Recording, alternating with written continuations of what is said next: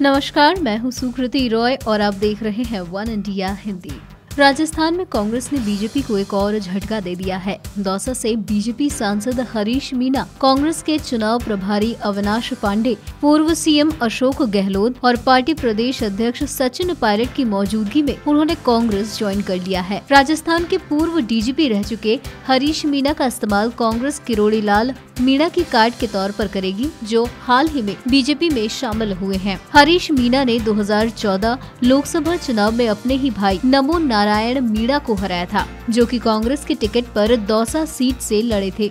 चुनाव प्रचार के दौरान हरीश मीणा के बड़े भाई। नमो नारायण मीणा अक्सर कहा करते थे कि पगड़ी तो बड़े भाई के ही सर बनती है। इस बात पर हरीश मीणा ने भी कभी कोई पलटवार नहीं किया। लेकिन 2014 लोकसभा चुनाव में जीत की पगड़ी छोटे भाई के ही सर बंधी। हरीश मीणा की जीत के साथ दौसा में बीजेपी को 25 साल बाद विजय नसीब हुई थी। उन्नीस सौ नवासी में नाथू सिंह गुर्जर बीजेपी के टिकट पर चुनाव लड़ा था और जीत हासिल की थी। दौसा लोकसभा सीट पर अधिकतर कांग्रेस का ही दबदबा रहा है। वहीं आपको बता दें कि राजस्थान में गुर्जर समुदाय बीजेपी के पक्ष में वोट करता है और मीणा समुदाय कांग्रेस के पक्ष में।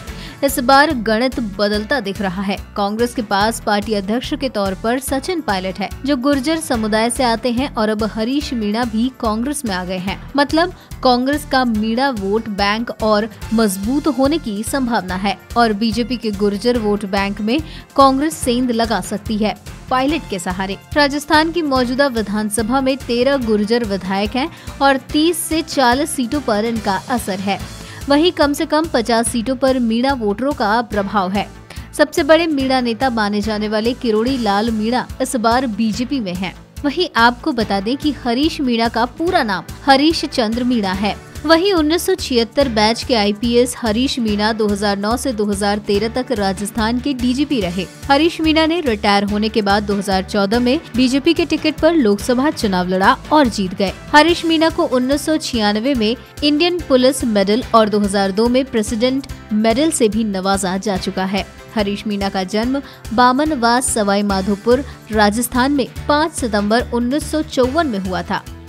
वहीं हरीश मीना की कुल संपत्ति की बात करें तो उनके पास 6 करोड़ से थोड़ी ज़्यादा संपत्ति है। फ़िलहाल इस वीडियो में इतना ही। ऐसी ही कई अन्य जानकारियों के लिए बने रहिए हमारे साथ।